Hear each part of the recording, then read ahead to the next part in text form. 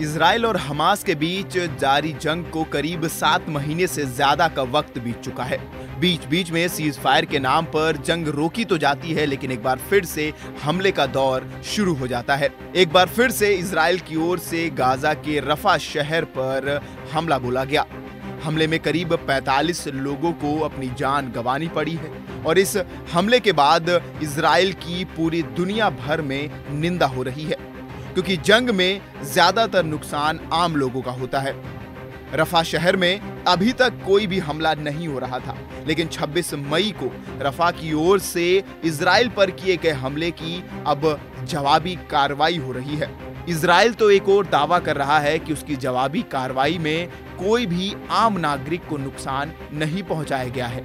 Israel का कहना है कि हमास के आतंकी रफा शहर में मौजूद हैं, जिसकी वजह से सैन्य कार्रवाई और हवाई हमले किए जा रहे हैं। इसराइल के इस हमले के बाद अब दुनिया भर में ऑल आइज़ ऑन रफा नाम का ट्रेंड शुरू हो चुका है।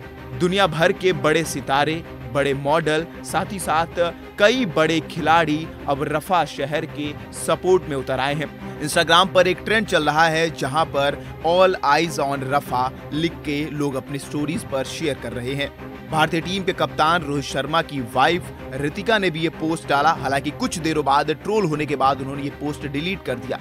लेकिन अफ़गानिस्तान के खिलाड़ी राशिद खान, मोहम्मद नबी उनके साथ साथ रहमनुल्ला गुरबाज, यहाँ तक कि जिम्बाब्वे के खिलाड़ी सिकंदर रजा, भारत की टेनिस स्टार सानिया मिर्ज़ा और पाकिस्तान के शाहिन शाह अफरीदी ने भी ये पोस्ट डालकर लोगों को चेतावनी और जताने की कोशिश की है कि जो दफ़ा में हो रहा है, वो किसी भी तरह से जायज़ नहीं है। इन दोनों ही देशों के जंग में अब तक गाजा के करीब पैंतीस हज़ार लोगों की जान जा चुकी है। दुनिया भर की निगाहें इसराइल और हमास के युद्ध पर हैं। पिछले सात महीनों से इस युद्ध के रुकने का इंतज़ार किया जा रहा है।